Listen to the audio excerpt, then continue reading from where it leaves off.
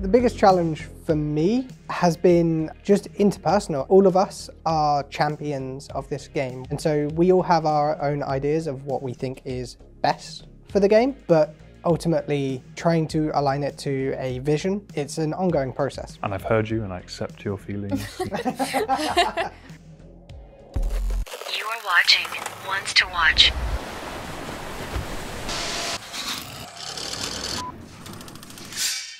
Yeah, hey, I'm John. I'm producer, designer, and animator for Ludophoria. I'm Emma. I'm the lead artist, uh, writer, and researcher for Ludophoria. And I'm Byron. I'm programmer, writer, director, and coffee addict for Ludophoria. So we came up through the undergrad together. I joined with John sort of in our second 0.5 year uh, at uni. Yeah, we Um, worked in a third year team together. And I was like off to the side, but I'd worked with John in first year. Um, and then after third year was done, I was pulled in to the whirlpool.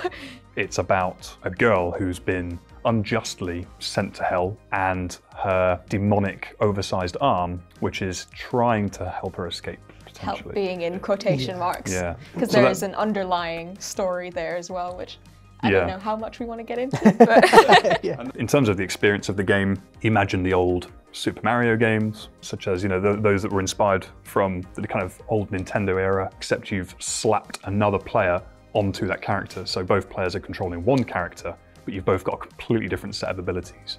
And so it's about trying to navigate through loads of challenges and defeating different enemies and solving puzzles, all whilst trying to get to the seed of hell to escape it.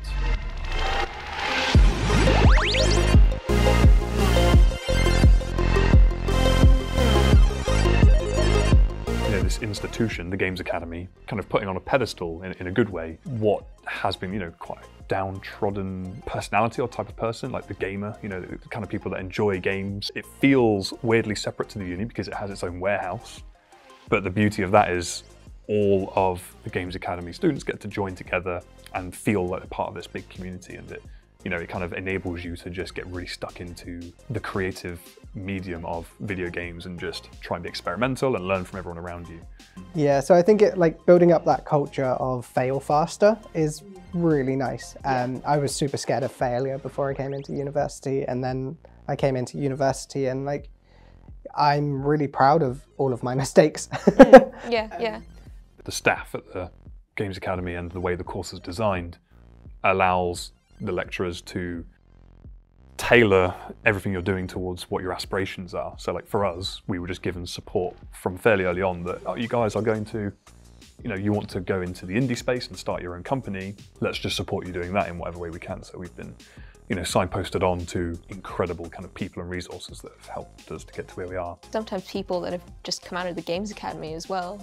yeah, the Launchpad was completely integral to our current position, really, because we finished our undergrad and continued to work through the masters as a group of individuals that knew how to make games. Being partnered up with the Launchpad was incredibly vital for us because they showed us exactly how to develop a product, essentially, and how you pitch that and how you make that interesting and viable. But yeah, the Launchpad allowed us to take our ability to just make a game, go, right, now you can tailor that and you can actually try and sell this thing.